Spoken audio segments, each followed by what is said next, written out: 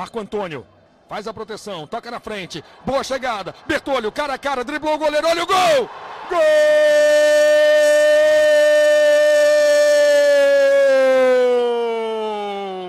É do Grêmio! Bertolho! Logo no início do primeiro tempo, o Grêmio consegue o que queria. Consegue um gol tranquilizador. Bertolho, um para o Grêmio, zero para o Ipatinga. Festa de Bertolho, condição legal. Teve calma, categoria para driblar o goleiro Bruno e bater para o gol vazio. Grêmio 1, um, Ipatinga 0. Bertolho, depois de ótimo passe do Marco Antônio.